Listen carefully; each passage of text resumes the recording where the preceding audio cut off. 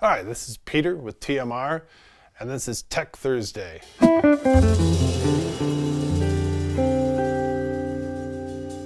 Today's tip and trick is to once a year, periodically, spend some time, reset your system, clean connectors, evaluate what you're working with,